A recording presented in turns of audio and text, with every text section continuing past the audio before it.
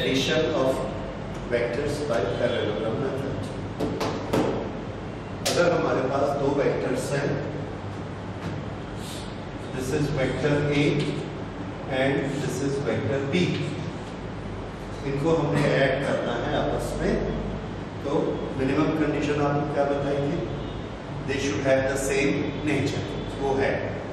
हमने मान लिया, दोनों एक ही नेचर के वेक्टर्स हैं, दोनों को ऐड करना है। ट्रायंगल मेथड में हम पहले एक वेक्टर बनाते हैं। कहीं पर भी सुटेबल लोकेशन में ये हमने एक वेक्टर ड्रॉ किया। दिस इज़ वेक्टर ए यहाँ से स्टार्ट करेंगे। ये स्टार्टिंग पॉइंट हमेशा टेल लेनी है और हेड इसका एंड पॉइंट है। जहाँ पर ये वेक्टर ए खत्म होता है, वहाँ से वेक्टर बी स्टार्ट करते हैं। वेक्टर बी स्टार्ट करते हैं ये। और जहाँ पर ये बी खत्म होता है ये हमारा फाइनल पॉइंट है। This is initial point this is final point और इनिशियल टू फाइनल जब हम इसको ऐसा मिला देते हैं, ये जो वेक्टर है, इसकी डायरेक्शन किधर होती है? इनिशियल टू फाइनल ये वेक्टर इन दोनों का एडिशन या रिजल्टेंट कहलाता है। सी इज़ रिजल्टेंट और रिजल्टेंट में हम जो ऑपरेशन करते हैं उस ऑपरेशन को क्या कहेंगे? Addition so C is A plus B ये हमने एक मेथड किया। माइनस करना, आपको मालूम है, जिसको माइनस करना है, उसको हम पलट देते हैं तो वो माइनस बन जाता है। फिर से ट्रायंगल बनाते हैं, हो जाता है। अब हम एक दूसरा मेथड पकड़ते हैं, इसी ए और बी को ऐड करने के लिए। हम सबने पैरेललोग्राम के बारे में पढ़ा है। पैरेललोग्राम में फोर साइड्स होंगी ये फोर साइड्स आमने सामने पैरेलल ये दोनों पैरेलल इन दोनों साइड्स को हम बोलेंगे एडजेसेंट साइड्स और ये दोनों अपोजिट साइड्स ये दोनों भी अपोजिट साइड्स इनकी प्रॉपर्टीज़ हमको मालूम है, ये इक्वल होती है और पैरेलल ये दोनों इक्वल और पैरेलल अच्छा ये जो दो एडजेसेंट साइड्स हैं ये अलग अलग हो सकती हैं, इनके बीच में कोई भी एंगल भी हो सकता है।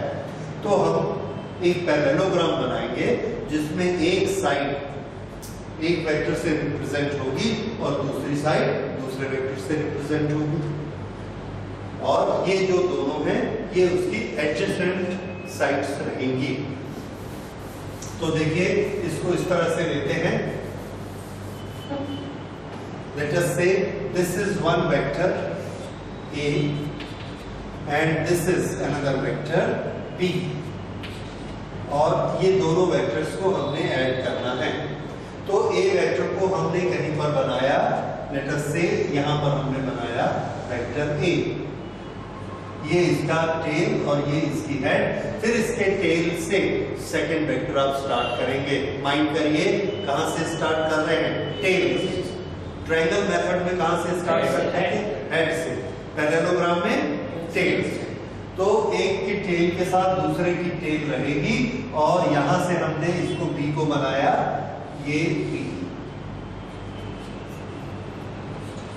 ये वेक्टर बी है, ये vector A so we will say the two vectors represent the two adjacent sides of a parallelogram then complete the parallelogram ये हमने ए और बी बनाया फिर बी के पैरेलल ये लाइन बनाई ए के पैरेलल ये लाइन बनाई पैरेललोग्राम कंप्लीट हो गया।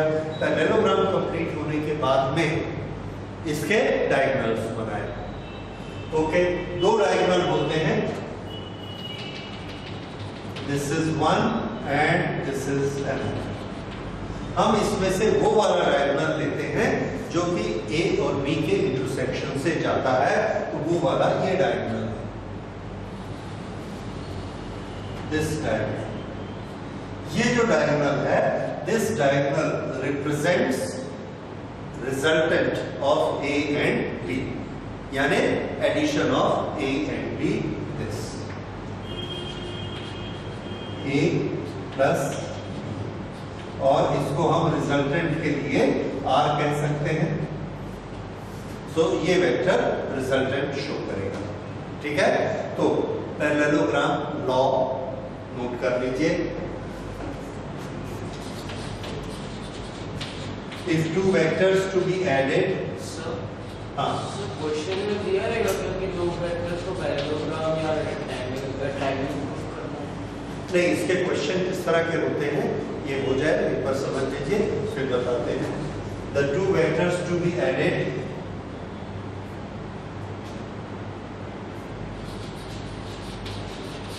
are represented by two adjacent sides of two adjacent sides of a parallelogram.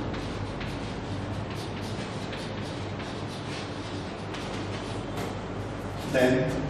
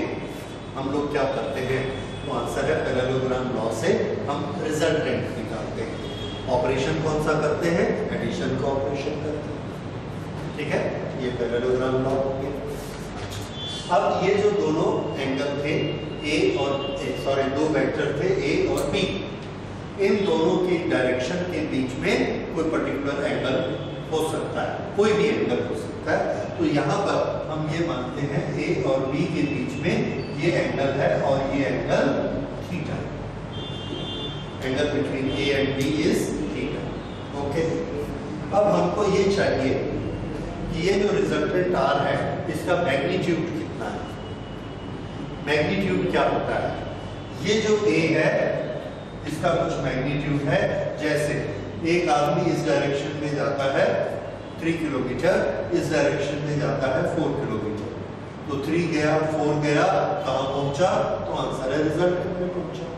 फिर से, एक ये ऑब्जेक्ट यहाँ रखा है, इसको एक आदमी इधर थ्री न्यूटन से खींच रहा है, एक आदमी इधर फोर न्यूटन से खींच रहा है। तो फोर से इधर थ्री से इधर तो ये जाएगा कहाँ? बीच में कहीं जाएगा। कितने फोर्स से जाएगा? तो हमको मालूम है थ्री और फोर के बीच में या थ्री और फोर से ज़्यादा एक नया फोर्स होगा, उससे जाएगा। उस फोर्स को क्या बोलेंगे? इसका मैग्नीट्यूड इसका मैग्नीट्यूड तो ये मैग्नीट्यूड हम कैसे निकालते तो ये मैग्नीट्यूड निकालने का तरीका है कि ये जो रिप्रेजेंट करता है, ये उस वेक्टर है। वेक्टर दो चीज़ें रिप्रेजेंट करता है मैग्नीट्यूड भी और डायरेक्शन यहाँ से हमने एक धागा बांधा इस ऑब्जेक्ट को और इधर फोर्स लगाया। One two three four four K G इधर लगा दिया। इधर हमने लगाया। One two three four five six seven seven K G इधर लगा दिया। इधर फोर इधर सेवन तो हम क्या देखते हैं? वो ऑब्जेक्ट किधर जाएगा? हमारा पैरेललोग्राम लॉ बताता है कि वो ऑब्जेक्ट पर इधर फोर्स लगेगा। अगर इधर फोर्स लगेगा तो वो इधर जाएगा। ऐसे। अब अगर वो इधर ऐसे जाएगा, इस तरफ़ फोर्स लगेगा, इधर जाएगा तो वो फोर्स कितना होगा? क्या वो फोर होगा? क्या वो सेवन होगा? क्या वो इलेवन होगा? या सेवन माइनस फोर थ्री होगा? कितना? इसको अब हम निकालना चाहते हैं। तो इसको हम ड्राइंग के या ज्योमेट्री की हेल्प से निकालते हैं। कैसे? हमने कैसे पता किया कि ये फोर है? हमने ऐसे बना दिया कि इसकी लेंथ फोर है। इसकी लेंथ सेवन तो इसकी भी जितनी लेंथ होगी, वही क्या होगा? इसका मैग्नीट्यूड वही इसका फोर्स होगा।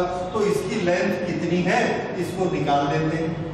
जितनी इसकी लेंथ आएगी, वही रिजल्टेंट का मैग्नीट्यूड माना जाएगा। ये बात समझ में आई? तो अब हमारा काम है कि ज्योमेट्री से इसकी लेंथ निकालना।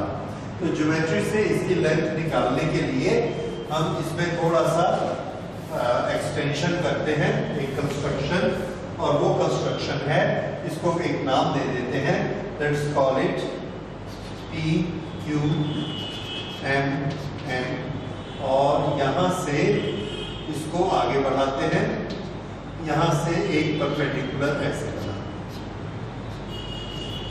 और ये वाला इस पॉइंट का कुछ नाम दे देते हैं let's call it O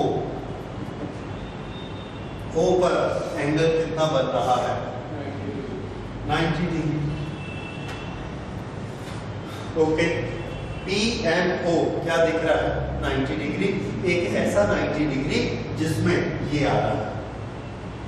ये जो वेक्टर ए है लेट अस से इसकी लंबाई 1 2 3 4 करके ए है। इसकी लंबाई 1 2 3 4 5 6 ऐसे करके बी तो वेक्टर बी का मैग्नीट्यूड बी वेक्टर ए का मैग्नीट्यूड कितना माना? ए तो इसका भी मैग्नीट्यूड हम लेंथ से निकाल देंगे। ओके अब शुरू करते हैं। In triangle P and O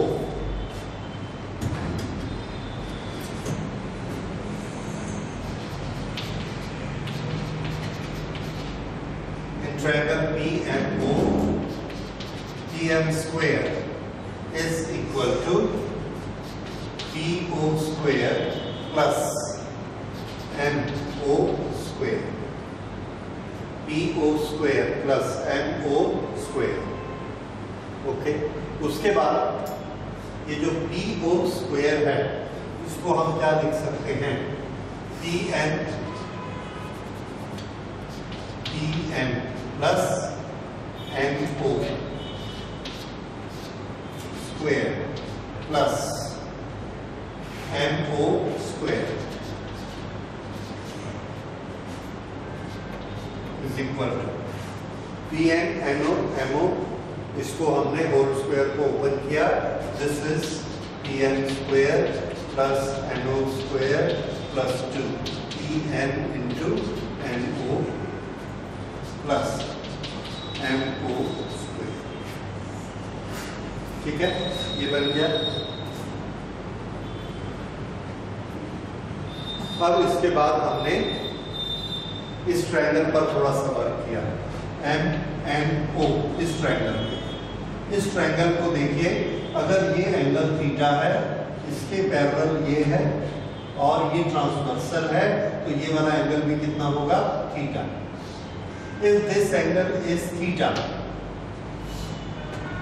then we can have this angle is theta and this is 90 तो थीटा और 90 होने से इन दोनों का आपस में एक रिलेशन होगा. दैट इज़ वी कैन तो इस ट्रायंगल को देखिए. एन एन ओ ट्रायंगल को.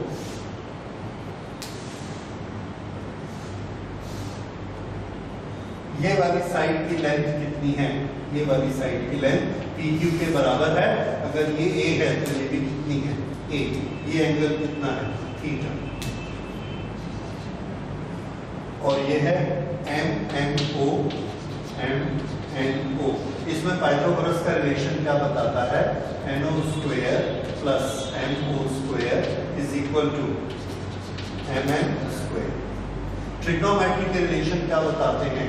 Sine theta is equal to sine theta is equal to M O upon M N M O upon M N तो एम ओ किसके बराबर हुआ? M O is equal to M N sine theta इसी तरह से N O upon N M ये base upon hypotenuse ये क्या होता है? Cos थीटा तो एन ओ किसके बराबर हुआ? N O is equal to M N cos. ये तीन रिलेशन इस ट्रायंगल के बारे में आपको याद रखने हैं, जो कि हमारे काम आने वाले हैं। ओके तो अगर हम ये मानते हैं एम एन की length M N M N इसकी लेंथ किसके बराबर है? ए के बराबर। है ओके तो यहाँ आ जाएगा। This is equal to N O square plus M O square ये। N O square plus M O square इसको हम क्या लिख सकते हैं?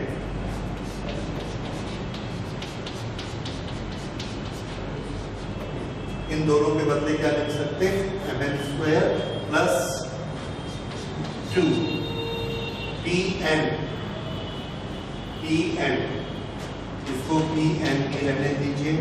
Into N O N O ये N is equal to M N cos theta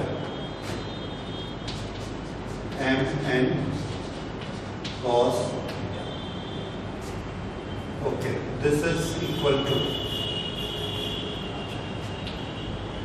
अब यहाँ पर हम वैल्यूज़ रखते हैं इनकी। ए बी इसके टर्म्स में वैल्यू रखेंगे तो एम एन स्क्वेयर इसके बराबर है? M N is equal to P Q and P Q is equal to A तो इसको हम क्या लिख सकते हैं? ए स्क्वेयर ये जो पी एम स्क्वेयर है, ये रिजल्टेंट है। डायगोनल पी एम दिख रहा है डायगोनल इज़ द रिजल्टेंट इसलिए हम इसको क्या लिख सकते हैं? R square so R square is equal to this is A square plus P N square P से लेके एन तक. ये लेंथ किसकी है? बी की. So this we can write as B square plus two P N P N को क्या लिख सकते हैं? B M N M N को क्या लिख सकते हैं?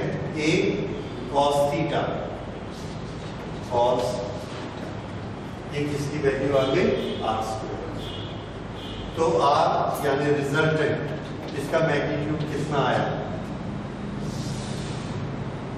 Is A square plus B square plus two A B cos theta इसको आप रूट नहीं बना पाएँगे। अगर सिर्फ़ A square plus two square plus two A B होता तो हम ए प्लस बी का वो रूट कर लेते पर वो नहीं है साथ कॉस थीटा है, इसलिए वो नहीं बन। तो ये हमारा रिजल्टेंट का फॉर्मूला बना। अब इस फॉर्मूला को नोट कर लीजिए, फिर इसके हम स्पेशल इसमें ए कौन है? Magnitude of first vector B magnitude of second vector theta क्या है? Angle between the two vectors तो आर क्या है उसका रिजल्टेंट ये जो रिजल्टेंट हमने बनाया, इसके बाद, इसकी डायरेक्शन की बात करते हैं। ये जो इस पर रिजल्टेंट लग रहा है, ये ना तो इस डायरेक्शन में लग रहा है, ना इस डायरेक्शन में लग रहा है। ये किसी तीसरी ही डायरेक्शन में लग रहा है, अलग किसी डायरेक्शन में लग रहा है। ये डायरेक्शन कौन सी है? इसके बारे में भी हम बताना चाहते हैं, क्योंकि वेक्टर में दो इंफॉर्मेशन होती है मैग्नीट्यूड कितना होता है और डायरेक्शन होती है। मान लो, ये डायरेक्शन जो है इसकी दिस डायरेक्शन इज़ अल्फ़ा ये डायरेक्शन अल्फ़ा है तो इस डायरेक्शन को कैसे स्पेसिफाई करेंगे? तो हम क्या करते हैं, इसका टेंजेंट निकालते हैं, इसका रिलेशन निकालते हैं और उस रिलेशन का इक्वेशन बनाते हैं, उससे हमको अल्फ़ा का पता लगता है तो यहाँ पर टेंजेंट अल्फ़ा कितना होगा? इसे हमने बनाया और direction of resultant or direction of result r is equal to root no alpha relation चाहिए so we will write here tangent alpha is equal to tan alpha is equal to mo plus po mo plus po कौन से triangle में दिखा? P M O ये right angle triangle है? इस right angle triangle में tangent इसकी क्या होगी? M O divided by P O perpendicular upon base M O upon P O ये टेन अल्फ़ा हो गया। अब ए और बी की भाषा में क्या होगा? M O M O upon P O इसको हम लिख सकते हैं M O upon P O P O को हमने लिखा N plus N O P से ओ तक P N plus N O this is equal to M O M O ये वाली side M O M O M O किसके बराबर होती है? M N sine theta this is equal to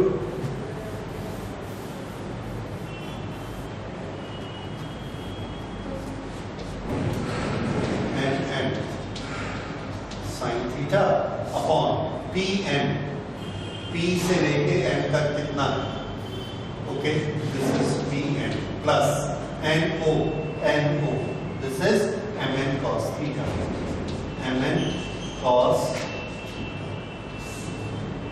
this is what? 10 alpha अच्छा। अब यहाँ पे वैल्यूज़ रखते हैं। पुटिंग वैल्यूज़ एम एन किसके बराबर है? तो आंसर है M N is equal to A so this will be A sine theta tangent alpha is equal to A sin theta to be divided by Pn.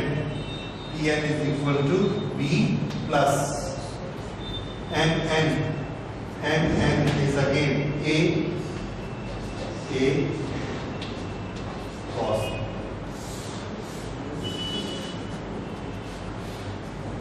ये tangent alpha की आ, इसका expression आ गया इससे हमको टेंजेंट अल्फ़ा की value पता लगेगी और उससे हम अल्फ़ा की वैल्यू निकाल लें तो ये एक्सप्रेशन निकालने का क्या मतलब है? हमारी गिवन क्वांटिटी कौन सी है?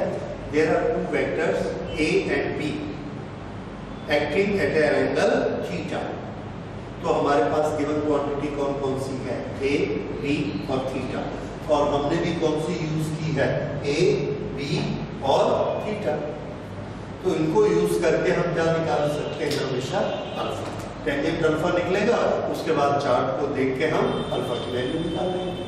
उतने एंगल पर ये काम करेगा। तो ये हमने क्या निकाली इसकी? डायरेक्शन और पहले हमने ये क्या निकाला था इसका? मैग्नीट्यूड तो ये मैग्नीट्यूड का फॉर्मूला और ये इसकी डायरेक्शन का फॉर्मूला तो ये दोनों नोट कर लीजिए फिर इससे स्पेशल रिजल्टेंट मैग्नीट्यूड दोनों के एंगल पर डिपेंड करते हैं। दोनों के बीच जो एंगल है पर डिपेंड करता है कि रिजल्टेंट कितना होगा। हमारे पास जो रिजल्टेंट का फॉर्मूला है, वो फॉर्मूला है r is equal to A square plus B square plus two A B cos theta square root ये रिजल्टेंट का फॉर्मूला है। अब इसके अलग अलग तीन केसेस दो वेक्टर है हमारे पास ए और बी और दोनों एक ही डायरेक्शन में काम करते हैं। इसका क्या मतलब है? इसका मतलब है, एक ऑब्जेक्ट यहाँ पर खड़ा है, एक आदमी आया और इसको पुश करता है।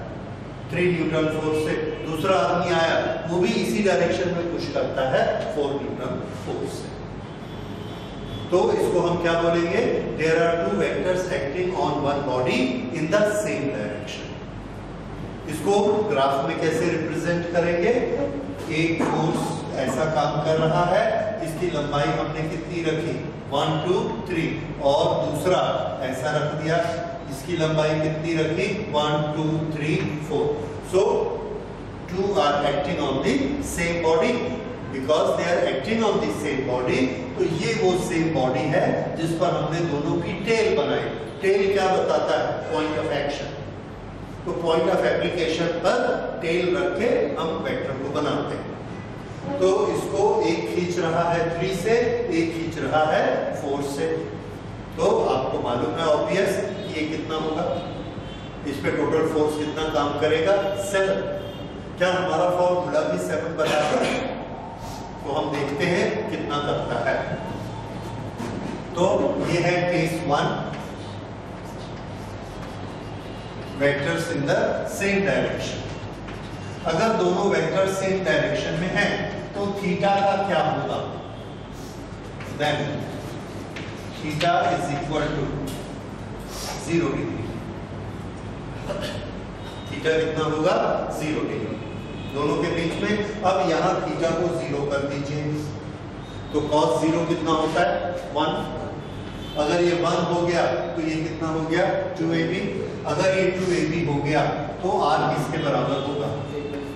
Root of A square plus B square plus two A B that is A plus B whole square उसका रूट किया तो A plus B so R is equal to A plus B तो ये कितना हो जाएगा? एक थ्री और एक फोर कितना हुआ? सेवन ये इसका मीनिंग और ये हमको पता लगा किससे? थीटा कितना है अभी? ज़ीरो। ठीक? इस समय इसकी वैल्यू कितनी हो जाएगी? थ्री प्लस फोर सेवन या R is equal to A plus B अब सेकेंड केस लेते हैं। Vectors acting in opposite direction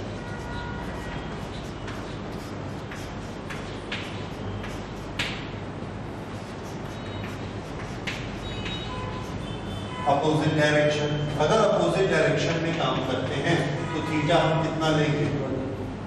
180 degree ठीक है? ओके 180 डिग्री है तो cos 180 कितना होता है? cos 180 is equal to minus 1 minus 1 cos 0 is equal to plus 1 cos 180 is minus 1 अब उसको माइनस वन लीजिए और r बताइए कितना आएगा? अगर आप इसको माइनस वन लेते हैं तो ये क्या हो जाएगा? माइनस टू ए बी तो ये कितना हुआ? ए माइनस बी का होल स्क्वायर उसका रूट निकाला तो A minus B so R is equal to A minus B इसका मतलब क्या है? प्रैक्टिकली प्रैक्टिकली ये मतलब है कि इस पॉइंट पर एक आदमी इधर फोर्स लगा रहा है। कितना? Four one two three four इसी पॉइंट पर दूसरा आदमी इधर फोर्स लगा रहा है और ये कितना फोर्स लगा रहा है? थ्री ठीक है? अब बताइए, इस पर नेट फोर्स कितना लग रहा है? वन किसकी डायरेक्शन में? फोर की डायरेक्शन में ऑपरेशन हमने क्या किया? Four minus three four minus three समझ में आया? ये है वेक्टर ए वेक्टर बी अगर अपोजिट डायरेक्शन में है तो ये वाला एंगल कितना लेना है? 180 डिग्री ये इसका मीनिंग तो जब दो वेक्टर एक डायरेक्शन में काम करेंगे तो हम उस फॉर्मूले को पूरा फिर से नहीं लगाएँगे। उसका रिज़ल्ट ले लेंगे। रिज़ल्ट क्या है? सिंपली दोनों का मैग्नीट्यूड ऐड कर जब उल्टा काम करेंगे तो क्या करेंगे? दोनों को सिंपली माइनस कर देंगे। फिर से उस पूरे को लिखो थीटा वन एटी करो, ये सब नहीं करेंगे। एक एक रिज़ल्ट निकाल दिया, अब तीसरा देखिए। अगर दोनों वेक्टर एक दूसरे के राइट एंगल पर काम कर रहे हैं। Vectors acting at right angle to each other acting at right angle. To each other. तो थीटा कितना लेना? 90 ओके, थीटा को 90 डिग्री लीजिए कॉस 90 कितना होता है? ज़ीरो तो r is equal to root A square plus B square R is equal to A square plus square का रूट। ये आ जाएगा जब दोनों कैसे होते हैं। 90 डिग्री ये कौन सा फॉर्मूला है जो हाइपोटेनियस वाला पाइथागोरस में हमने पढ़ा है? हाइपोटेनियस किसके बराबर होता है? C square is equal to a square plus b square तो c is equal to root of a square plus b ये वो। तो ये कौन सा हो गया? 90 इस तरह से ये तीन स्पेशल केस चौथा केस चौथा केस जनरल केस है, अगर वो ना 90 डिग्री है, ना ज़ीरो है, ना 180 है, कोई भी एंगल है, जैसे 35 डिग्री तो ये फॉर्मूला है हमारे पास, इसमें क्या रख देंगे हम? 35 आंसर आ जाएगा। अब ये बताइए 4 और 3 ए और बी इनको जब हम आपस में ऐड करते हैं तो बड़े से बड़ी वैल्यू हमारी कितनी आ सकती है? तो आंसर है जब cos थीटा बड़े से बड़ा होता है वन उस समय वैल्यू कितनी होती है? A plus B that is four plus three seven छोटी से छोटी वैल्यू कितनी आएगी? Four minus three that is equal to one तो दो वेक्टर का एडिशन बड़े से बड़ा कितना हो सकता है?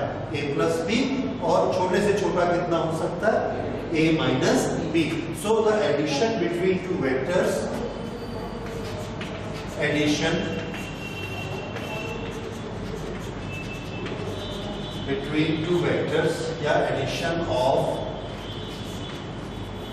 two vectors as limits maximum a plus b और मिनिमम सॉरी मैग्नीट्यूड है तो मुझे ये नहीं लगाना है मैक्सिमम ए प्लस बी और minimum A minus B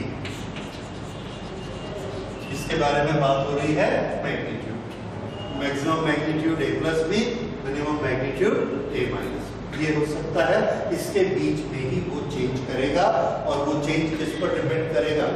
angle theta पर. इस तरह से अगर हमारे पास ऐसे दो वेक्टर्स हैं तो अभी इनकी वैल्यू कैसी होगी?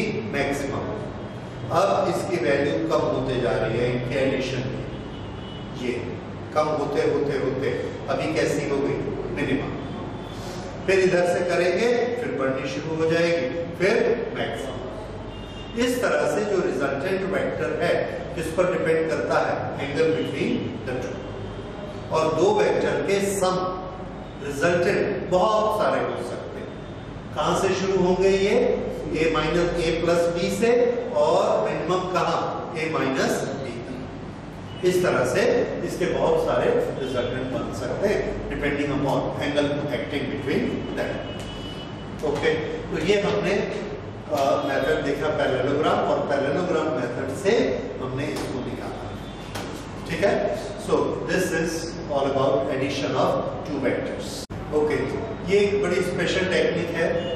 किसी भी वेक्टर को हम यूनिट वेक्टर में कैसे रिप्रेजेंट करते हैं और इसी टेक्निक से आगे हम हमेशा काम करेंगे। जैसे, अगर मैं आपसे ये कहूँगा कि ये एक पॉइंट है ओरिजिन और ये एक दूसरा पॉइंट है, यहाँ से इसका पोजीशन वेक्टर बनाओ। तो ये हमने पोजीशन वेक्टर बनाया। ये ओरिजिन है और ये पॉइंट P है तो P का पोजीशन वेक्टर ये ओपी बना। अब ओपी वेक्टर को मैं कैसे लिख सकता हूँ? तो इसको मैं लिख सकता हूँ वेक्टर ओपी मैं तो लिख दूँगा वेक्टर ओपी आपको समझ में नहीं आएगा। इसको समझाने के लिए हमने एक यूनिट वेक्टर की भाषा प्रयोग की। यूनिट वेक्टर की भाषा कैसे यूज़ की, उसको देखिए। यहाँ से हमको तीन कोऑर्डिनेट बनाने आते हैं axes X axis Y axis और जेड एक्सिस चूँकि ये प्लेन दो एक्सिस का है, इसलिए दो एक्सिस से स्टार्ट करते हैं, बाद में थर्ड भी जोड़ लेंगे। तो यहाँ पर मान लीजिए ये एक्स एक्सिस है और ये वाई एक्सिस है। ये हमने ओरिजिन मानी आर्बिट्रेरी होती है, हमारी इच्छा ओरिजिन कहा माने? हमने यहाँ मानी। ये पॉइंट पी है। अब यहाँ से पॉइंट पी एक आदमी को जाना है।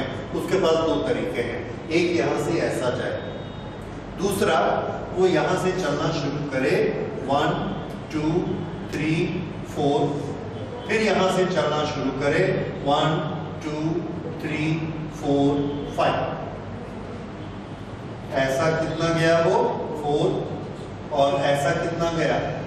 फाइव ये x एक्सिस में फोर स्टेप गया। एक स्टेप के हर स्टेप के पास डायरेक्शन है। कौन सी डायरेक्शन है? प्लस एक्स वाली डायरेक्शन है। प्लस एक्स वाली डायरेक्शन कई यूनिट लेंथ क्या कहलाती है? तो आंसर है unit vector I unit vector I ये क्या चीज़ है? एक्स की डायरेक्शन में कितनी लेंथ वन तो ये जो फोर है, चार बार ये आई आया है। आई, एक और आई, एक और आई और एक और। तो टोटल कितना हो गया ये? फोर आई यूनिट वेक्टर है ये। इसमें आई वेक्टर क्या बताता है कि डायरेक्शन कौन सी पकड़ी? एक्स फोर क्या बताता है कि यूनिट कितने लिए? चार। फोर फोर टाइम्स यूनिट लिए। यहाँ पहुँचने के बाद ये हम इस वेक्टर के हेड पे पहुँच गए यहाँ से हमने दूसरा वेक्टर पकड़ा ऊपर की तरफ़। ऊपर की तरफ़ डायरेक्शन में यूनिट वेक्टर हमने क्या माना हुआ है? जे कितनी बार जे लेना पड़ेगा यहाँ पे तो ये कितना हो गया? फाइव जी अब हमने एक मेथड पढ़ा है addition triangle method triangle method हमको ये बताता है कि पहले एक वेक्टर बनाइए फोर आई उसके हेड से दूसरा वेक्टर स्टार्ट करिए। फाइव जे को यहाँ से स्टार्ट किया टेल और इसके हेड पे चले गए यहाँ। फाइव जे यहाँ खत्म हो गया, ये फाइनल पॉइंट आ गया। ये स्टार्टिंग था और ये फाइनल है। इसको मिला दीजिए। हमने मिला दिया। तो हमने किस किस को ऐड किया बताओ? पहले क्या लिया था? फोर आई फिर क्या लिया था? फाइव जे दोनों को ऐड किया हमको क्या मिल गया? ओपी मिला। तो मैं ओपी को ओपी नहीं लिखता। मैं ओपी को लिखता हूँ four I plus five J क्यों? क्योंकि ये आपको अच्छे से समझ में आता है। कि पहले एक्स की डायरेक्शन में कितना जाना? है फोर फिर जे की डायरेक्शन में? फाइव अब अगर मैं आपको बोलूँगा, एक वेक्टर बना दो भाई two I plus three J तो आप कैसे बनाओगे? ये यहाँ से वन टू ये कितना हो गया? Two I plus three J one two three ये थ्री जे यहाँ पहुँच गए, और दोनों का एडिशन किसके द्वारा? कौन रिप्रेजेंट करेगा इसको? ये रिप्रेजेंट करेगा। तो इसका नाम क्या हुआ? Two I plus three J. Two I plus three J इसका नाम है। इसका और इसका नहीं। इसका कितना है? Two I. इसका कितना है? Three J. इसका कितना है? Two I plus three J. और इसको मिटा दिया। ये। तो भी ठीक है। Two I plus three J. हम समझ रहे हैं two I plus three J कितना अब ये चीज़ धीरे धीरे हमारे दिमाग में पिक्चर बन जानी चाहिए। जैसे, अगर मैं आपको कहूँगा five I plus one J क्या आपको शहरों के बारे में? हाँ ऐसे ही सोचना है। इधर कितना जाना? फाइव उठाऊँगा कितना? ये। ये आ गया वेक्टर ये वेक्टर कौन सा है? Five I plus one J एक और उठा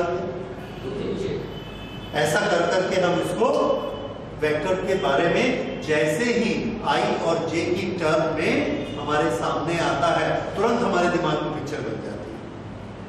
ठीक? अब उसके बाद एक और चीज़, आपने सिस्टम में पढ़ा हुआ है, इधर एक्स होता है और इधर माइनस ये डायरेक्शन पढ़े हुए ना? अब इसको पढ़ के मुझे बनाकर दिखाइए five I minus three J five I minus three J ये लाइन कौन सी है? ये वेक्टर कौन सा है?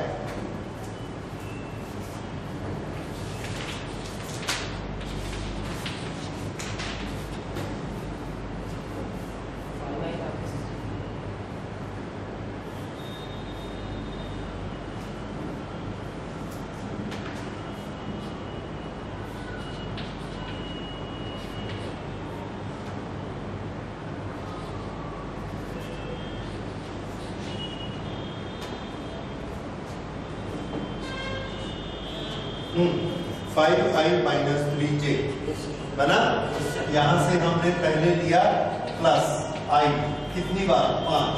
One two three four five और फिर उसके बाद minus three J one two three minus की तरफ़। ये पॉइंट हमको मिला। ये इनिशियल ये फाइनल इस लाइन का नाम क्या है? फाइव आई माइनस थ्री ये वेक्टर है फाइव आई माइनस इसको बनाओ। Minus three I plus three J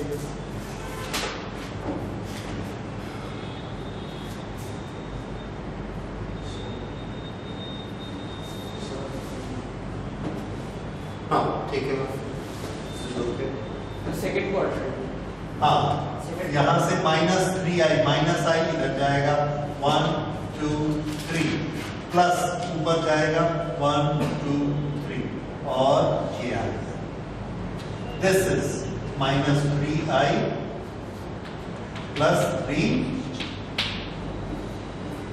ठीक है तो अब हमको एक टेक्निक मिल गई कि किसी भी वेक्टर को हम आई जे के की भाषा में बता सकते हैं ठीक अच्छा और एक बनाकर दिखाइए two I minus four J direct vector खींचिए two I minus four J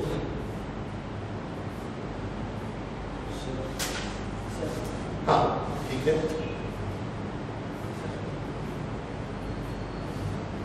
vector कहाँ है हाँ ये वेक्टर टू और फोर दिखना चाहिए आपका बराबर बराबर दिखना है हाँ आई को टू लेना है और जे को फोर लेना है तो यहाँ से हमने लिया टू आई प्लस की तरफ़ और माइनस की तरफ़ फोर तो इससे डबल होना चाहिए तीन this vector is two I minus four ठीक है?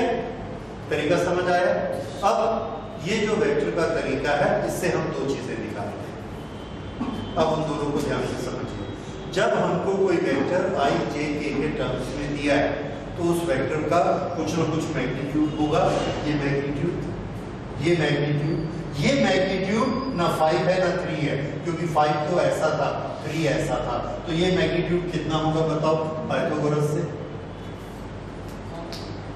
ये वाला magnitude yes correct five square plus three five किसके साथ लगा हुआ है? आई के साथ। थ्री किसके साथ लगा है? जे के साथ। इसलिए अब से हम क्या करेंगे कि अगर हमको ऐसा दिया हुआ है ए एक्स ए आई प्लस ना ए बी में X I plus Y J ये हमारे पास एक वेक्टर है। तो इस वेक्टर का मैग्नीट्यूड कितना होगा?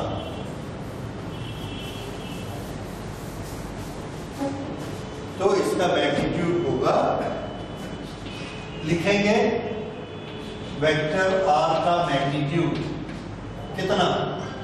रूट ये X square plus Y X square plus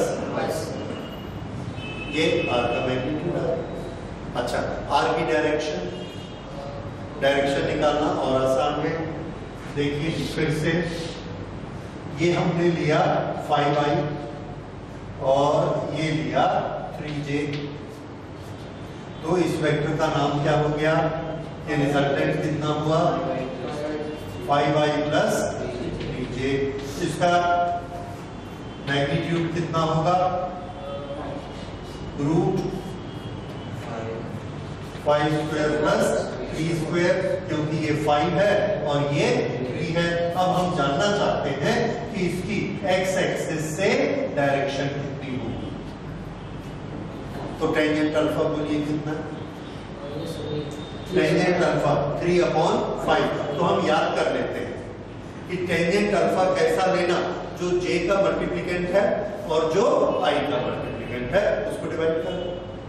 तो इसकी डायरेक्शन हमको कैसे मिलेगी? Tangent alpha is equal to Y upon X ये पूरा नोट करके इसको रख लीजिए, याद कर लीजिए। ठीक है? एक्स वाई के टर्म्स यही चीज़ अगर हमको थ्री डायमेंशन में दी गई है। थ्री डायमेंशन में किस तरह से?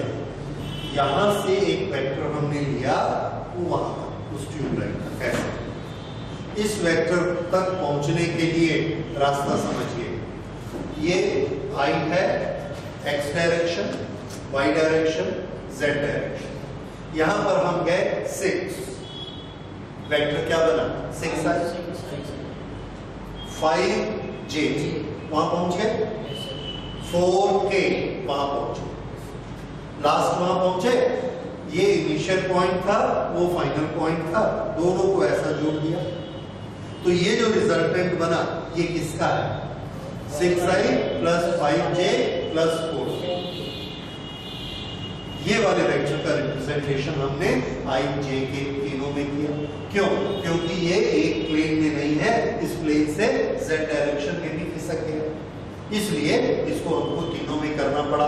तो ऐसे जो वेक्टर्स हैं, उसको हम कैसे दिखाया करेंगे कि ये जो वेक्टर आर है this will be addition of I J इसका कुछ मल्टीप्लीकेंट होगा प्लस के इसका भी कुछ मल्टीप्लीकेंट होगा। इस तरह से। एक थ्री डायमेंशन में इसको नोट कर लीजिए वेक्टर इन थ्री डायमेंशन तो इसका मैग्नीट्यूड लंबाई कितनी होगी?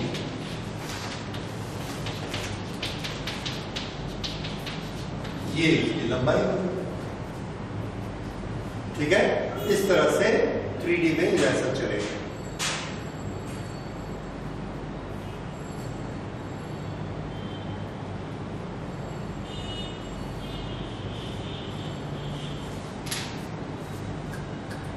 तो आई और आई जे और के क्या कांस्टेंट है कि वेक्टर आई जे के ये यूनिट वेक्टर्स हैं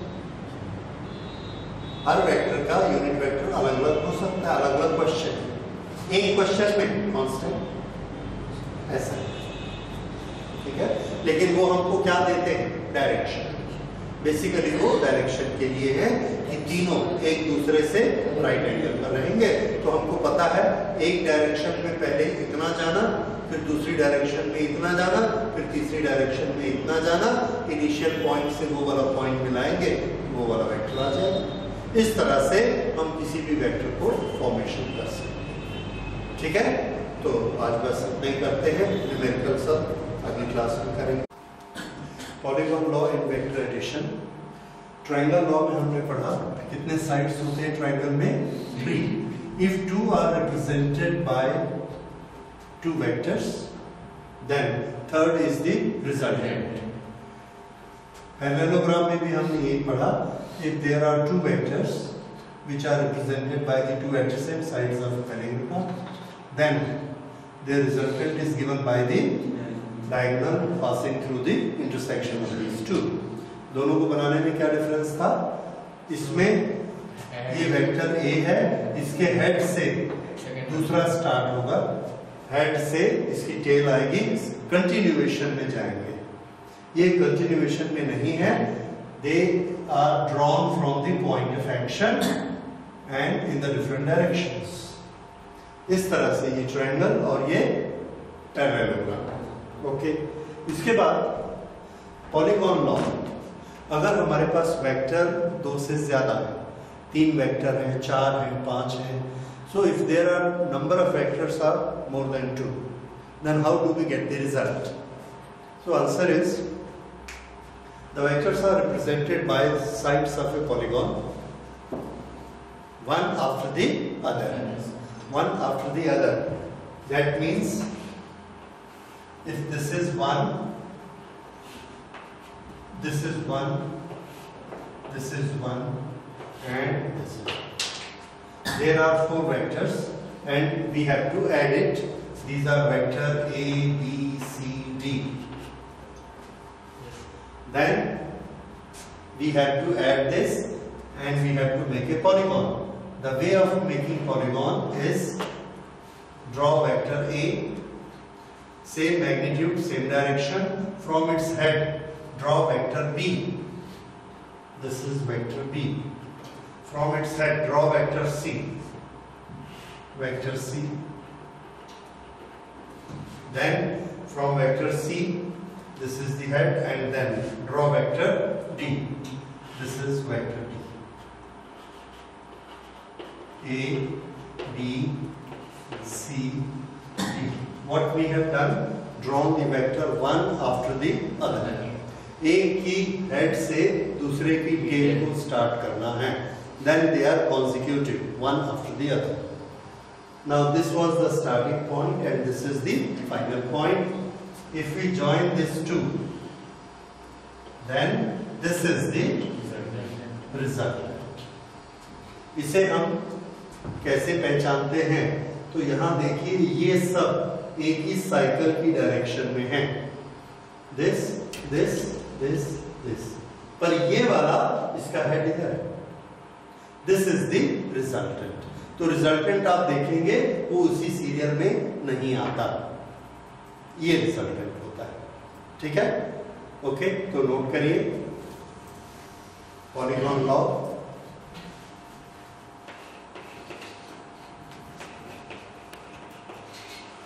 if vectors are represented by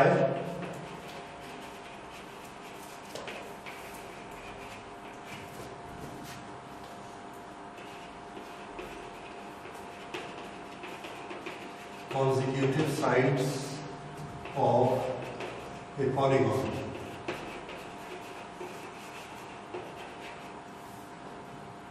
Then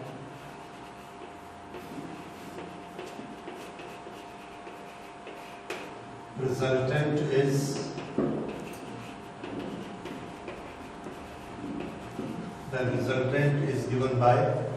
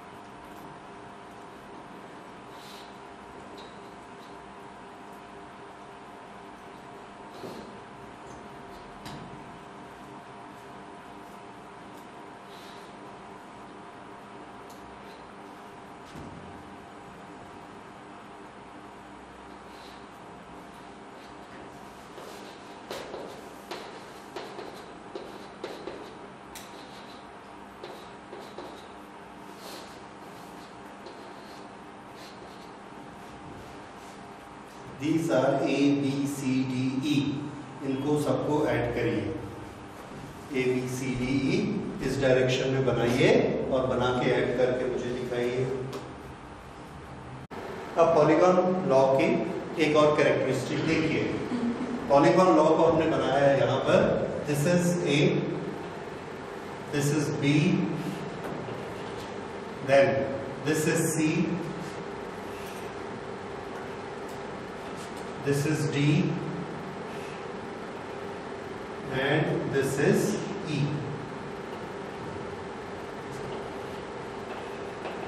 This was our starting point and this is the final point A, B, C, D. Starting to final this and the direction will be starting to final. So this gives the result.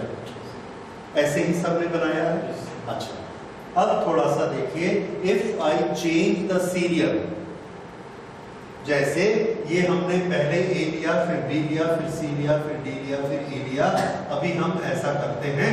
आ, आप मुझे बनाकर दिखाइए। मैं देता हूँ B plus C plus E plus A plus B ये order हमने puzzle कर दिया इसको। ओके ये वाला ऑर्डर ऐसा हो जाने से, अब बनाइए। तो शुरू करते हैं डी से। आप लोग बनाकर देखिए कैसा आता है। डी डी के बाद सी डी हो गया then C this is C C के बाद है E this is E this is E E के बाद है ए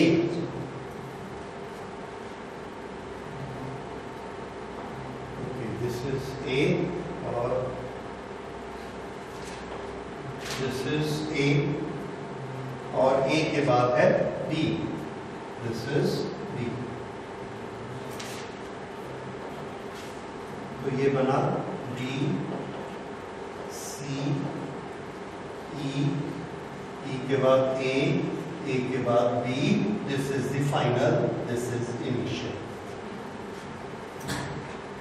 okay initial to final हमने वेक्टर बनाया दैट इज़ दिस अब आप देखिए, ये वेक्टर और ये वेक्टर दोनों की एक ही डायरेक्शन है और दोनों का एक ही मैग्नीट्यूड है। ये थोड़ा बड़ा बड़ा दिया था, ये छोटा छोटा दिया। पर दोनों का एक ही मैग्नीट्यूड आया और एक ही डायरेक्शन आया। इससे हमको ये पता लगता है कि आप ए बी सी डी ई को जोड़िए या D C E A B को जोड़िए। आंसर एक ही आएगा। This is cumulative property commutative property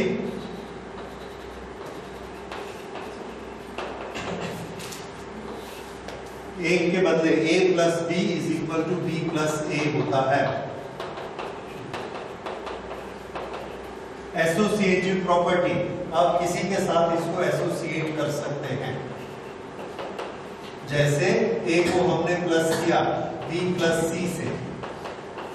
लेकिन अगर हम ए प्लस बी को पहले करते हैं और इसको सी के साथ एसोसिएट करते हैं result will be same so addition of the vector, follow commutative property as well as associative और ये किसका एग्जांपल था?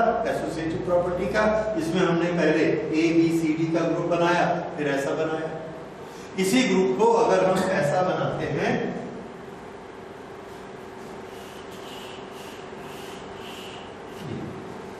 there are one, two, three, four, five पाँच वेक्टर पाँच वेक्टर आप ढूंढोगे इसी डायरेक्शन के हैं। अच्छा देखिए। इसके साथ रिलेट मत करिए, वैसे ही इसको रिलेट करते हैं हम। ये एक स्टार हमने बनाया।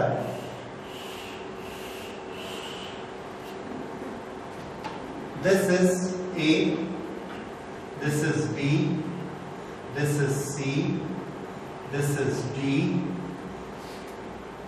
A B C D ये चारों को हमने ऐड किया। ये स्टार्टिंग पॉइंट था और डी खत्म करके हम यहाँ पर पहुँचे। स्टार्टिंग टू फाइनल ये वाला हमको क्या देता है? रिज़ल्ट तो हमने ना एक चीज़ और निकाली। In any close polygon any one side in opposite direction is resultant of all the other vectors फिर से in a close diagram if all the sides are represented by vectors in consecutive order. Consecutive order मतलब एक का head जहाँ आएगा, वहाँ से दूसरे की टेल स्टार्ट करनी। Then the last side will be the resultant ठीक है? जैसे हमने ये बनाया, देखिए वन टू थ्री फोर ये। इसका रिजल्टेंट क्या होगा? Last side in opposite direction ये बात समझ में आ गई? अब अगली चीज़ देखिए। वो इससे इंपॉर्टेंट है। एक, दो, तीन, चार। इन चारों का ये क्या है? रिज़ल्ट मान लीजिए हमने इसको नहीं बनाया। तो ये चारों मिलके किसके बराबर काम करते हैं? इसके बराबर? ये तो हमको मालूम है। इसके साथ हमने एक एडिशन और किया। वो एडिशन है ये। अब इन पाँचों का एडिशन बताइए। यहाँ से स्टार्ट किया और ये कॉन्जिक्यूटिव चला और यहीं पर पहुँच गया। तो इनिशियल और फाइनल पॉइंट एक ही जगह है। इसीलिए इसका सम क्या हो गया? Zero one two three four five if any number of vectors can be represented by a closed polygon then their sum is zero note करिए if if vectors can be represented by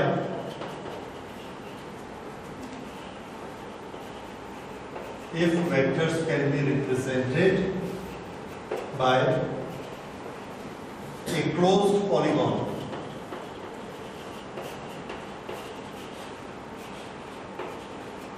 then their sum is zero.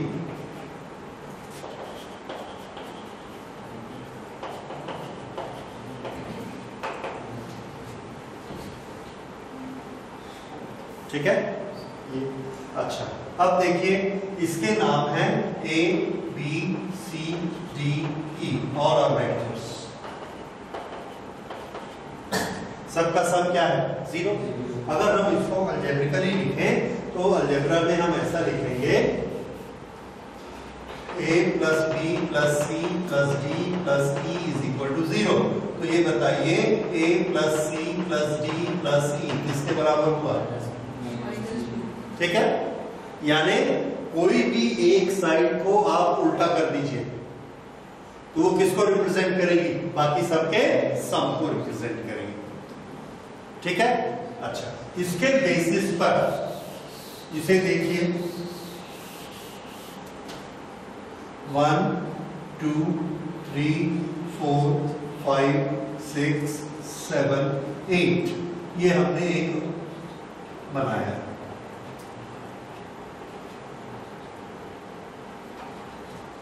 A B C D E F G H इन सब का sum कितना है बताइए? Zero if I ask you that what is this sum of A plus B plus D plus E plus F plus G plus H that is equal to minus C very good minus C मतलब इसको हम क्या कर देंगे? ये है minus तो यहाँ से शुरू किया this plus this plus this plus this plus this plus this plus this is equal to तो अगर हम वेक्टर्स को एक क्लोज पॉलीगॉन की सभी साइड्स में रिप्रेजेंट कर सकते हैं तो उसकी एक साइड उल्टे डायरेक्शन में नेगेटिव डायरेक्शन में किसको रिप्रेजेंट करेगी? Sum of all the others ठीक है? ये चीज़ याद रखिएगा। तो अगर हमको ये बोला जाता है कि ये पाँचों का सम निकालो। तो हम ट्रायंगल पैरेललोग्राम कोई मेथड नहीं लगाएँगे। कौन सा मेथड लगाएँगे? पॉलीगॉन। एक क्लोज फिगर बनाया और क्लोज फिगर बना के हमने क्या बोल दिया? ये एक जो है वो बाकी सबका रिज़ल्ट समझ आया? क्योंकि सब मिलकर क्या बना रहे हैं? ज़ीरो तो कोई भी एक बाकी सबका रिजल्टेंट होगा, उसको हमने उल्टा कर देना ठीक है? So this is polygon law of vector addition